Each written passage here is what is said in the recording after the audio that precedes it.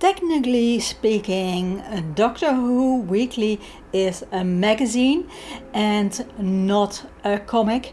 Uh, well, not a comic in the traditional sense, but as it has comics in it alongside regular articles and the it is published it was published in the UK by Marvel UK I consider this uh, to be an interesting topic to talk about for my Eurocomic Thursday.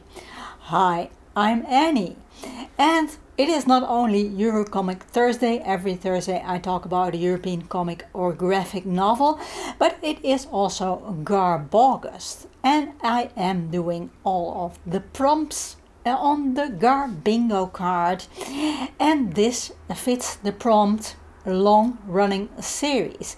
As Doctor Who started, the television series, uh, series started back in 1963, which is a long time, and it ran until 1989, and it was rebooted back in 2005, and it is still running. Anyway, uh, the uh, there was also the Doctor Who weekly magazine, and I read the first issue of it that was published in 1979. Uh, it was published by the UK arm of Marvel Comics. Uh, the magazine uh, moved from weekly to monthly um, with issue 44 and that was in uh, published in September 1918 18 1980 and um, then it became uh, Doctor Who Monthly, and all along the way, it's changed its title to the Doctor Who magazine in December uh, 80, 1985. And the magazine has remained under that title ever since. In 1990, the magazine started appearing once every four weeks, so there were 13 issues published in a year.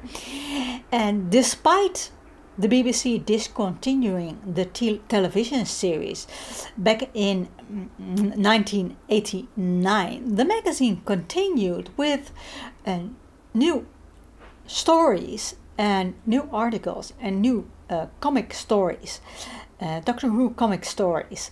So uh, the Doctor Who stayed alive anyway, and um, the television program was, like I said, revived in back in 2005, and that was the time when, um, well, I started to watch Doctor Who this was my first the, the with um, Eccleston, who played Doctor Who. It was my first introduction to Doctor Who, the television series, and I enjoyed the humor of it. About this quirky time traveler. So uh, I can highly recommend this series as well as this magazine. So this first issue of Doctor Who Weekly, um, well, I I enjoyed it very much. The magazine has a great start with uh, the comic Doctor Who and the Iron Legion. The story is written by Mills and Wagner, and the wonderful detailed artwork is done by Dave Gibbons. In this uh, first installment of the story, um, the Doctor has to outsmart these robot villains of the eternal war. And uh, the doctor's usually chit chatty manner of finding things out uh, is intertwined with a lot of action, which I found just excellent. Although this episode ends with a cliffhanger, I haven't found the time yet to uh, read the other episodes uh, and fini- uh, finish reading this story, but I'm I'm looking forward to it. Uh, I, I will put a link to uh, where you can find this magazine in the description box below so you can read it for yourself. Then there is a regular article in it, the day of the Daleks, Daleks, Daleks, Daleks, and this is about how um, creator Terry Nation came up with the concept of these uh, unusual, well, machine like creatures. And it was funny to read that he took inspiration from dancers, the Georgian state dancers, who seemed to glide over the stage rather than uh, jumping, dancing, and walking and uh, what dancers do on stage. They seem to glide over the stage, and um, Terry Nation thought this was a good way to uh, to let these villains, the, these machine-like villains, rather uh, glide over the ground than walk or whatever. Anyway, um, yeah, that was an interesting article.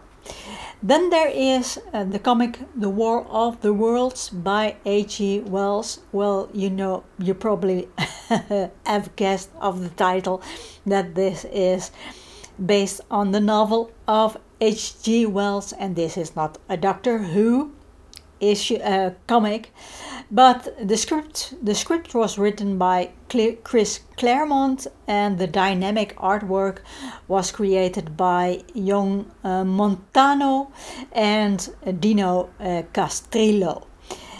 And then there is an article about the different actors portraying a Doctor Who and uh, well how they they played it and uh, what was the difference between their approach.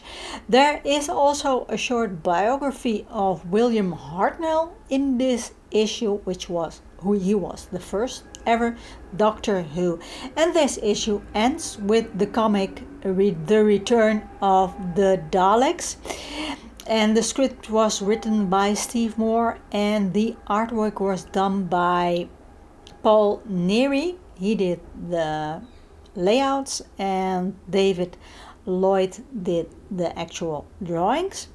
And the issue ends. No, I already said that. well, if you are a Doctor Who enthusiast like me, I can highly recommend you pick up some of the issues of Doctor Who Weekly Meanwhile, keep those pulp juices flowing and I hope to see you in the next uh, video.